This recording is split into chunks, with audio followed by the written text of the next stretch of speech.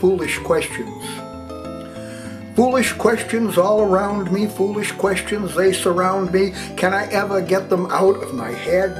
At the risk of being barbecued, I'm gonna lay them off on you. Here they come. What was the best thing before sliced bread? Why is it on a parkway they drive and on a driveway you park? I know the speed of light, but what is the speed of dark? When fish are thirsty, how do you suppose they drink? How do you know when you run out of invisible ink? Can fat people go skinny dipping? After making styrofoam, how do they pack it for shipping? Why is mnemonic so hard to remember to spell? Why does your nose run and your feet smell?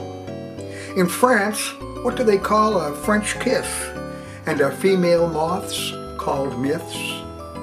Will a man-eating shark eat only a man? How do you throw out a garbage can? Is it because they don't know the words that hummingbirds hum? What kind of fruit is in juicy fruit gum? Why isn't phonetic spelt like it sounds? Does chocolate milk come from cows that are brown? With daylight savings time, what are they saving and where do they stow it? If the dictionary had a misspelling, how would we know it? When out in the rain, why don't sheep shrink? Do pilots take crash courses? What do you think? Brassiere is singular, panties are plural. Isn't that weird? Why doesn't Tarzan have a beard? Can you use your AM radio in the afternoon? How do you know when your bagpipes are out of tune? Did Adam and Eve have a navel? Then where did they get it? When they first invented the clock, how did they know what time to set it?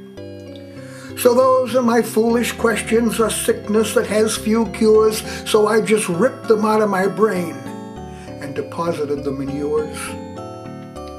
I know you'll try to find the answers. My intuition says you won't. How do I know it's intuition? I don't.